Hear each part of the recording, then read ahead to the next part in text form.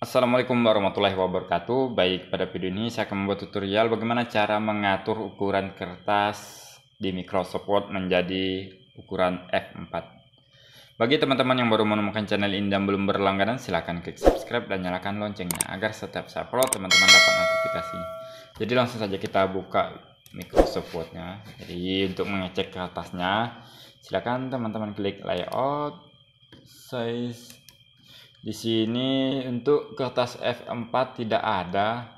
Jadi kita membuat sendiri atau mengcustom. Nah, ini ukuran A4. Ini A5, A6.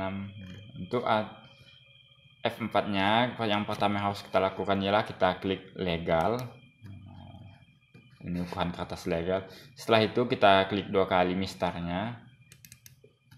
Kita ubah menjadi di papernya ubah menjadi 33 sudah kita cek.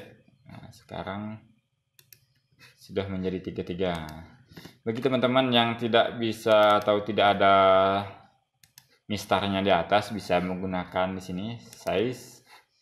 Setelah itu more paper size. Nah, ubah size nya di sini menjadi 33 Mungkin itu saja tutorial singkat tentang mengatur kertas menjadi F4. Saya kira dengan wassalamualaikum warahmatullahi wabarakatuh. Jangan lupa subscribe.